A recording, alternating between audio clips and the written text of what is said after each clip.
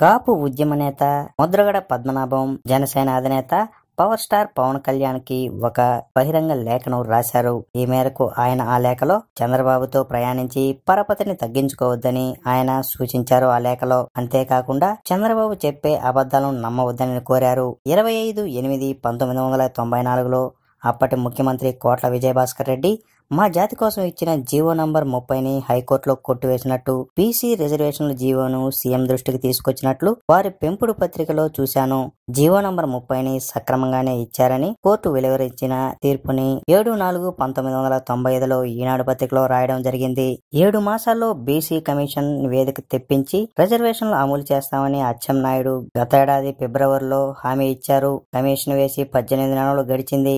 TDP అధికారంలోకి వచ్చి మూడేళ్ళయింది అయినా ఇప్పటి వరకు హామీని నెరవేర్చలేదు. మేము అడిగితే ఏడు మాసాలు ఆగలేరా అంటూ ఎదురుదాడి చేస్తున్నారు. అరువు రేపు అన్నట్టుగా అబద్ధాల మీద అబద్ధాలు చెప్పడానికి సిగ్గుపడడం లేదు. వారి మాటలు వినడానికి మా జాతి మొత్తం విపరీతంగా సిగ్గుపడుతుంది.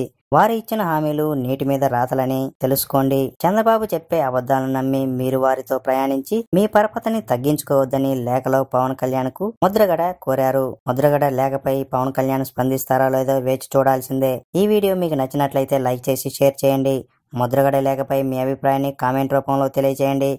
ఇలాంటి మరిన్ని పొలిటికల్ అప్డేట్స్ కోసం please subscribe Telugu focus TV